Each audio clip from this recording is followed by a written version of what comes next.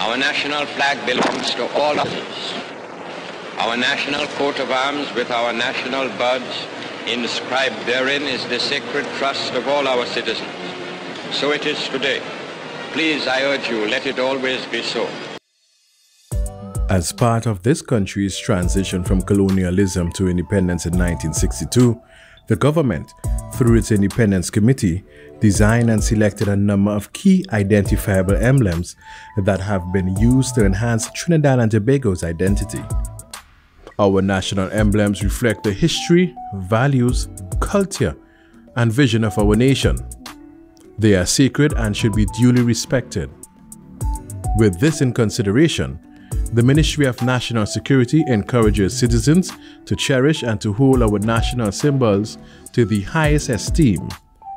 TNT's national symbols include the national flag, the coat of arms, and the double Chaconia flower. A coat of arms is traditionally unique to an individual person, family, state, organization, or corporation and is a heraldic visual design on a shield, surcoat, or tabard. The coat of arms of Trinidad and Tobago was designed in 1962 by a designated committee including noted artist Carlisle Chang and carnival designer George Bailey. TNT's coat of arms forms the central element of the full heraldic achievement and incorporates important historical and indigenous elements of Trinidad and Tobago.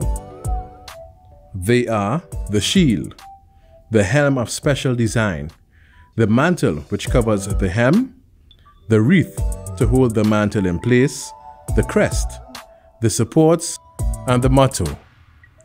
The coat of arms is used on all communication material within the government sector as a means of building a consistent identity. Every government agency charged with the privilege of using the nation's coat of arms is responsible for complying with the guidelines for its usage and will be held accountable for any such breaches. Here is what you need to know about displaying Trinidad and Tobago's coat of arms. All representations of the coat of arms must adhere to a 5mm clearance space on all sides and no design elements are permitted within the 5mm region. The minimum size for presenting the coat of arms of Trinidad and Tobago is 20mm by 20mm. When using it in stack alignment, you must adhere to a 5mm clearance space around the coat of arms.